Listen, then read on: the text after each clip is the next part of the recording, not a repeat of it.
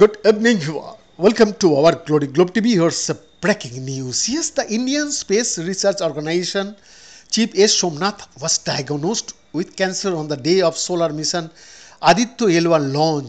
He recently revealed in an interview.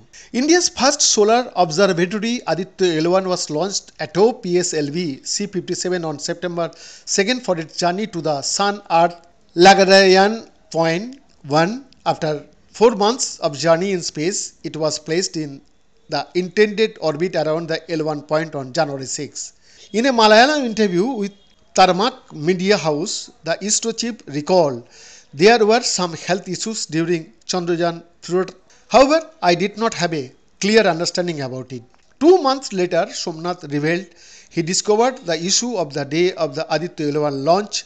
On the day Aditya L1 was launched, I conducted a scan in the the morning of that day that was when i realized that i had a growth in my stomach.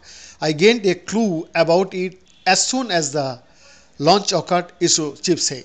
Afterwards in chennai he underwent a scan to confirm the problem. Subsequent test within 2 3 days confirmed a hereditary disease and then he underwent an operation he said.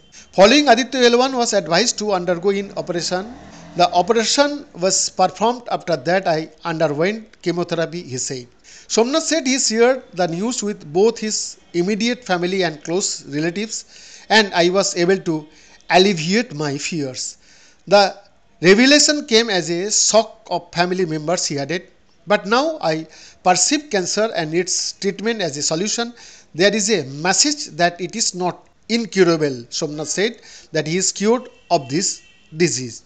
I will be undergoing regular checkups every year. I will be undergoing scans, but now I am completely cured. I have resumed my duties, he said.